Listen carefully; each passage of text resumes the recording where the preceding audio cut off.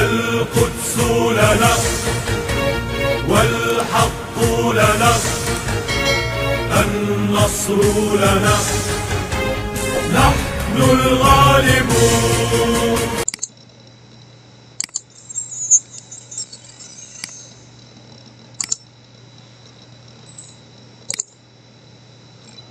Bismillahirrahmanirrahim. Assalamualaikum warahmatullahi wabarakatuh. Oke, kita lanjutkan lagi bimbingan Olimpiade Matematika masih dengan materi aljabar.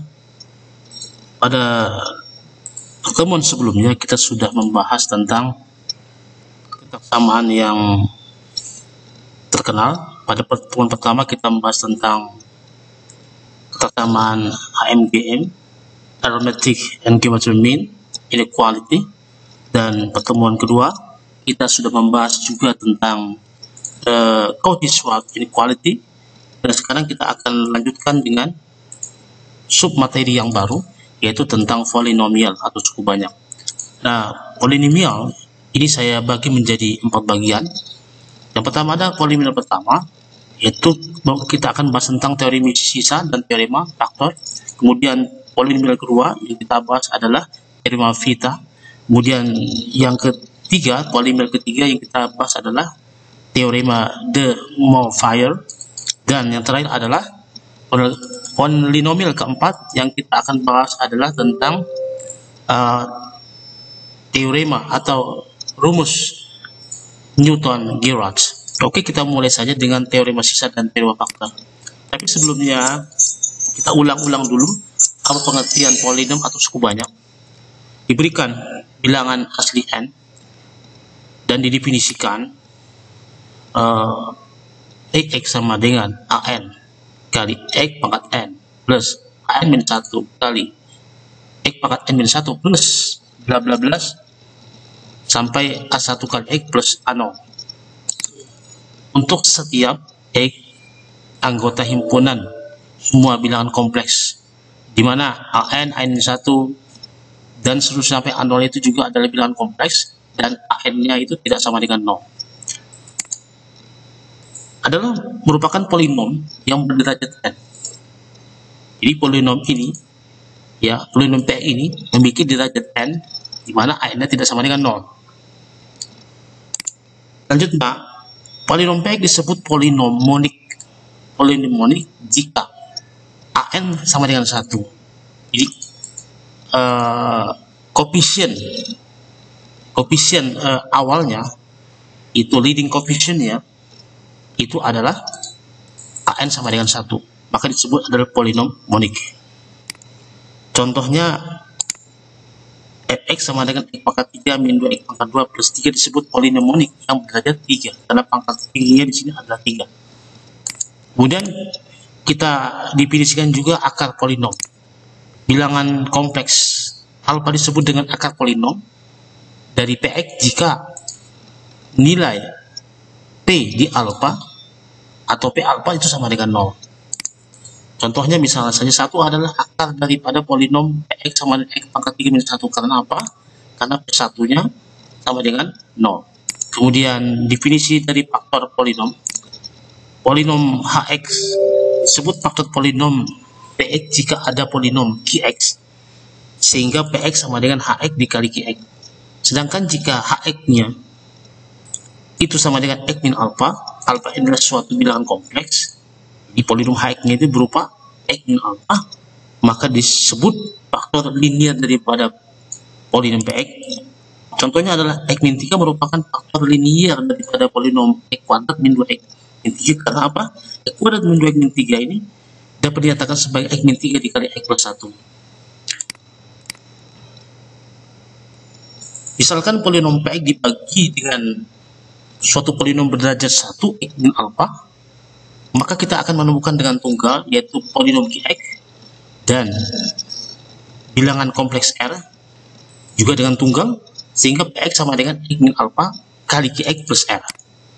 Untuk suatu ya katakan tadi ya ini tunggal untuk suatu polinom x dan r itu adalah bilangan kompleks. Kemudian x min alpha ini disebut dengan pembagi dan kemudian qx disebut dengan hasil bagi dan r disebut dengan sisa Kemudian sudah saatnya masuk kepada teorema sisa. Apa itu teorema sisa? Bunyinya sisa hasil pembagian PX oleh X min alpha sama dengan P alpha. Kita tahu tadi kalau PX dibagi dengan X min alpha, maka kita dapat menemukan dengan tunggal QX dan R bilangan kompleks sehingga PX sama dengan X min alpha dikali QX plus R. Maka yang kita buktikan itu adalah sisa pembagiannya di sini yaitu R ini R ini kita harus buktikan sama dengan P alpha. Kita substitusikan saja. Kita ganti X-nya dengan alpha sehingga kita peroleh P alpha sama dengan alpha kurang alpha kali Q alpha alpha kurang alpha 0 ditambah R sehingga kita peroleh apa? P alpha sama dengan R sehingga kita peroleh peroleh sisa pembagian PX oleh X min alpha tidak lain daripada adalah P alpha jadi kita rinci lagi sifat uh, kita rinci lagi buktinya X itu kan sama dengan X min alpha kali X plus R maka kalau kita substitusikan X dengan alpha kita peroleh apa? P alpha sama dengan sama dengan R. Maka bukti selesai. Kemudian kita lanjutkan dengan teorema faktor. Oke, kita berikan contoh dulu penggunaan teorema sisa. Sisa pembagian fx polinom fx yaitu x3 min 2 x min 3 kalau dibagi x plus 1 apa? Maka menurut teorema sisa, maka sisa daripada pembagian fx oleh x plus 1 tidak lain daripada apa? f min 1 f min 1 nah kita peroleh f min 1 sama dengan min 2 jadi sisa pembagian fx ya oleh x plus 1 adalah f min 1 yang tak lain yaitu min 2 kemudian kita masuk ke kepada teori faktor oke x min alpha merupakan faktor polinom px jika dan hanya jika P alpha sama dengan 0. Oke, seperti yang sudah-sudah, kalau kita menemukan jika dan jika, maka kita harus buktikan dari arah kiri ke kanan, kanan ke kiri. Mula-mula dari kiri kanan, jika diketahui X min alpha, faktor polinom X, ya, kemudian kita buktikan alpha sama dengan 0, kemudian dari, dari kanan ke kiri, kalau diketahui P sama dengan 0, kita buktikan X min alpha adalah faktor polinom X. Oke? Dari kiri kanan dulu, ketika X min alpha merupakan faktor polinom X, maka menurut definisi daripada faktor, maka kita dapat menemukan menemukan suatu polinom ya Qx sehingga Px sama dengan X min alpha dikali Qx. Oleh karena itu dengan mensubstitusikan nilai alfa ke X ini kita peroleh apa? Kita peroleh adalah P alfa sama dengan 0. Jadi, X min alfa faktor polinom PX, maka kita dapat menemukan dengan tunggal, ya, polinom QX, sehingga PX sama dengan X min alfa dikali X, dengan mensubstitusikan X dengan alfa kita peroleh apa? P alfa sama dengan alfa kurang alfa QX. Alfa kurang alfa 0, sehingga kita peroleh P alpha sama dengan 0. Kemudian dari kanan ke kiri, jika diketahui P alpha sama dengan 0, artinya apa di sini? Kalau P alpha sama dengan 0, artinya R-nya sama dengan 0. Sisa pembagian, sisa pembagian PX oleh X min alpha itu bersisa 0. Akibatnya apa? Ya, PX sama dengan X min alpha dikali X karena di sini sisanya atau R-nya itu sama dengan 0 maka sesuai dengan definisi daripada uh, faktor dari Vx itu kita dapat menemukan yaitu sehingga Vx sama dengan X min alpha dengan kata lain bahwa X min alpha ini adalah adalah faktor daripada polinom Vx bukti selesai Oke, kita lanjutkan kepada pembahasan soal Olimpiade Matematika. Yang pertama adalah soal yang berasal daripada OSK tahun 2016. Yang bunyinya misalkan A ini adalah bilangan real sehingga polinom X yaitu X pangkat 4 plus PX plus 4x plus A itu habis dibagi X min C kuadrat di mana C ini adalah suatu bilangan real tentukanlah nilai A tadi. Jadi X min C kuadrat ini adalah faktor daripada PX akibatnya karena X min C kuadrat adalah faktor daripada PX maka X min C juga adalah faktor linear jadi X min C adalah faktor linear daripada PX jadi kalau demikian karena X min C faktor linear daripada PX maka C ini adalah akar daripada polinom X. Jadi akibatnya apa? Karena dia akar polinom daripada X, menurut teorema faktor, maka PC itu harus sama dengan 0. Jadi kita dapatkan PC sama dengan 0. Jadi PC sama dengan 0. Jadi kita dapatkan C pangkat 4 plus 4C plus A sama dengan 0. Dari sini kita dapatkan nilai A-nya yaitu min dalam kurung C pangkat 4 plus 4C. Dan juga harus diketahui bahwa di sini karena tadi X min C kuadrat merupakan faktor daripada PX ya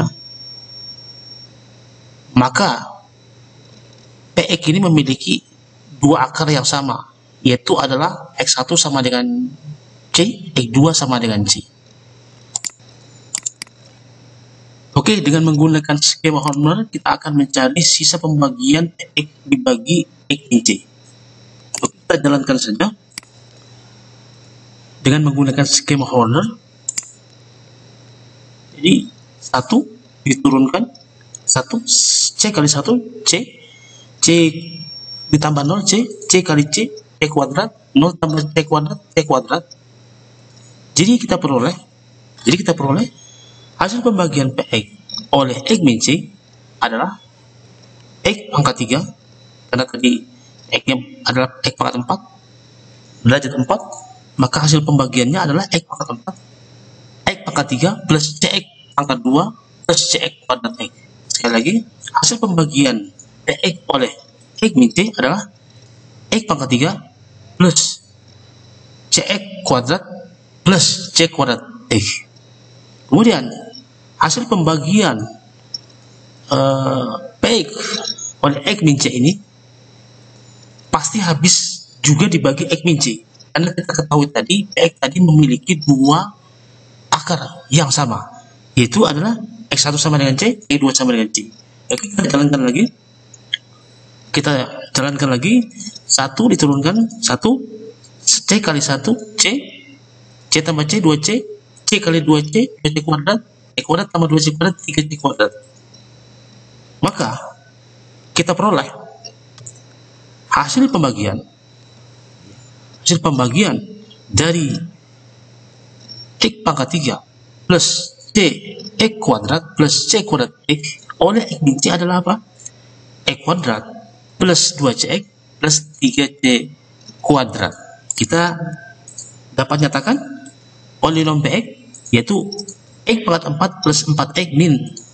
Dalam kurung C pangkat 4 plus 4C sebagai polinom PX itu sama dengan perkalian daripada faktor-faktornya yaitu X min C kuadrat kita jabarkan X kuadrat min 2CX plus C kuadrat dikali dengan faktor yang lainnya yaitu apa? X kuadrat plus 2CX plus 3C kuadrat yang kita peroleh dari sini yaitu ya X kuadrat plus 2CX plus 3C kuadrat. Oke, sekarang kita tinggal mencari nilai C saja. Karena nilai A yang kita cari itu tergantung dengan nilai C, hanya nilai C. Maka kita perhatikan di sini koefisien daripada uh, X di ruas kiri adalah 4. Oleh karena itu, koefisien di ruas kanan pun harus bernilai 4 juga. Jadi di sini nilainya 4, koefisien daripada X. Kemudian kita cari di sini koefisien daripada X di sebelah kanan yaitu min 2C min 2C dikali 3C kuadrat min 6C pangkat 3 kemudian C kuadrat dikali 2C yaitu 2C pangkat 3 akibatnya 4 sama dengan min 6C pangkat 3 ditambah 2C pangkat 3 diperoleh apa? Ya. Min 4C pangkat 3 sama dengan 4 akibatnya C pangkat 3 sama dengan min 1 Dan akibatnya C sama dengan min 1. Dengan demikian, kita dapat langsung menghitung nilai nilai A yang dicari, itu kita sudah ketahui tadi nilai A itu adalah min dalam kurun C pangkat 4 plus 4C. Akibatnya, kita substitusikan nilai C sama dengan min 1, min 1 pangkat 4, 1, min 1 kali 4, min 4. Jadi sama dengan 3. Oleh karena itu, nilai A adalah sama dengan 3. Oke, kita lanjut kepada soal kedua. Soal kedua itu berasal dari OSP tahun 2010 atau dari Olimpiade Matematika di Kanada tahun 84 disebut dengan CMO Canadian Mathematics Olympics. Soalnya kebetulan sama karena di sini sudah pasti ya. OSP 2010 mengambil dari CMO 1984 Soalnya berbunyi, diberikan bilangan real A, B, C, D sehingga polinom X sama dengan X pangkat 4 plus A pangkat 3 plus B kuadrat plus C plus B memiliki sifat P1 sama dengan 10, P2 sama dengan 20, P3 sama dengan 30. Hitunglah P12 tambah P-8 per 10. Kita tampak di sini P1 sama dengan 10, P2 sama dengan 20, P3 sama dengan 30 per pola. Jadi hanya untuk ya dijamin hanya untuk bilangan-bilangan 1, 2, 3 saja yang berpola seperti ini. Pola 1 sama dengan 10, P2 sama 20, P3 sama dengan 30. Ya, sedangkan bilangan-bilangan yang lainnya tidak ada jaminan. Jadi di sini kita harus membentuk sebuah polinom baru ya yang dibentuk dari polinom yang lama yaitu Px sehingga katakanlah polinom yang baru itu adalah polinom Fx sehingga berakibat yaitu satu dua momen tiga ini merupakan akar-akar daripada polinom yang baru atau x. Dan kata lain, yaitu x min satu, x min dua, x min tiga itu adalah faktor-faktor uh, daripada polinom fx ini. Jadi sekarang bagaimana bentuk daripada rumus fx tadi? Jadi perhatikan di sini, f1 sama dengan 10, p2 sama dengan 20, p3 sama dengan 30, Artinya P1 dikurang 10 adalah 0, P2 dikurang 20 adalah 0, P3 kurang 30 adalah 0. Dengan bentuk seperti ini, maka kita dapat membentuk sebuah polinom baru katakanlah fx. Jadi kita bentuk polinom baru fx sama dengan px dikurang 10x. Jadi kita dapat bentuk polinom baru atau fungsi dengan rumus fx sama dengan px kurang 10x. Nah, di sini kita lihat karena pada PX tadi PX tadi adalah uh, polinom, polinom yang berderajat 4 ya maka tertingginya 4 di sini dengan koefisiennya adalah satu jadi P ini adalah termasuk polinomonik dengan leading koefisien satu. Karena tadi kalau kita substitusikan ke 1 F1 sama dengan P1 kurang 10 sama dengan 0, F2 sama dengan P2 kurang 20 sama dengan 0, F3 sama dengan P3 kurang 30 sama dengan 0, akibatnya apa? Akibatnya 1, 2, 3 itu adalah apa? Adalah akar-akar dari polinom F3 epic ini sudah jelas pasti juga berderajat apa? Ya. Karena di ruas kanan dari persamaan epic sama dengan uh, px minus 10x ya px inilah polinom berderajat 4 sedangkan 10x ini adalah polinom berderajat 1 sudah pasti ya x nya ini pasti juga berderajat 4 dengan leading coefficient sama dengan 1 karena tadi 1, 2, 3 adalah akar-akar daripada akar-akar daripada uh, polinom fx, maka menurut teori faktor, maka x1, x min 2, x min 1, x min 2, x min 3 itu adalah faktor-faktor linear daripada fx.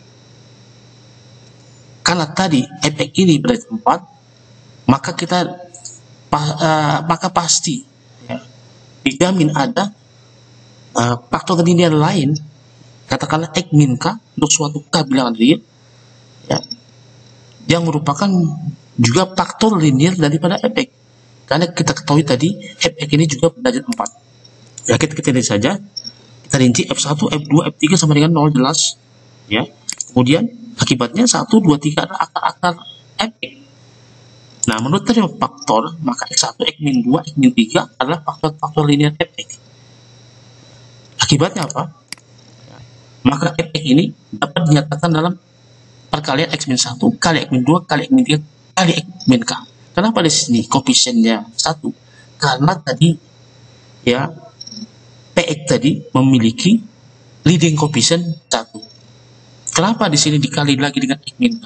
Karena di sini P ini berderajat 4 pasti mem, pasti ya ya karena sudah diketahui tadi bahwa dia berderajat 4 maka X juga berderajat 4 dan tiga faktor linear dari Fx diketahui X1 ya X min 2 X min 3 maka pasti juga faktor yang lainnya juga pasti linear dengan K adalah bilangan real tidak mungkin bilangan kompleks yang bukan real karena sudah diketahui koefisien-koefisien daripada Px ini adalah adalah semua real dan akar-akarnya pun real, maka K ini adalah suatu bilangan real.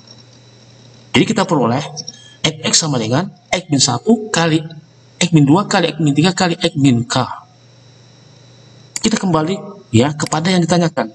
Yang ditanyakan adalah P12 ditambah P min 8 per 10. Kita hitung dulu P12 ditambah P min 8. Kita substitusikan saja 12. 12 kurang 1, 10, 12 kurang 2, 12 kurang 1, 11, 12 kurang 2, 10, 12 kurang 3 9 12 min K ditambah ya 10 X jadi 10 kali 12 120 jadi tadi sekali lagi PX ya rumusnya adalah X min 1 kali X min 2 kali X min 3 kali X min K ditambah 10 X ditambah 10 X jadi kita substitusikan 12 12 kurang 1 10 12 kurang 2 eh 12 kurang 1 11 12 kurang 2 10 12 kurang 3 9 12 kurang K ditambah 10 kali 12 120 kemudian P min 8 min 8 kita substitusikan X nya jadi min 8 min 1 min 9 min 8 min 2 min 10 min uh, 8 min 3 min 11 ditambah 10 dikali min 8 min 80 jadi kita perhatikan di sini 10 kali 9 kali 10 kali 11 dikali min K. Kalau ditambah dengan min 9 kali min 10 kali min 11 ditambah min K itu adalah 9 kali 10 kali 11 K. Sedangkan di sini adalah min 9 kali 10 kali 11 K. Artinya apa? Kedua bilangan tadi kalau jumlahkan sama dengan 0. 120 ditambah min 80 adalah 40 kita peroleh ya, kita peroleh jadi 12 kali 9 12 kali 11 kali 10 kali 9 kemudian uh, min 11 kali min 10 kali min 9 kali min 8 positif. Ya yaitu 11 kali 10 kali 9 kali 8 tambah 40 yaitu 120 ditambah min 80 maka oleh karena itu P12 tambah P8 per 10 adalah jadi 11 ya, jadi, jadi 11 kali 11 kali 10 kali 9 kali 20 per 40 dibagi 10 yaitu kita peroleh 10 dibagi 10 ya 1 ya. kita peroleh 11 kali 9 kali 20 40 dibagi 10 4 jadi kita peroleh sama dengan 1984. Jadi jawabannya adalah 1984. Oke, demikian tadi kita telah menyelesaikan pembahasan tentang teori sisa dan teori faktor. Untuk selanjutnya silahkan latihan latihan karena di sini sudah saya siapkan latihan-latihan soal ya terkait dengan teorema sisa dan teorema faktor yang sudah saya share di uh, bahan ajar e-learning Mat Insentia Pekalongan ya yang saya akan tunjukkan berikut ini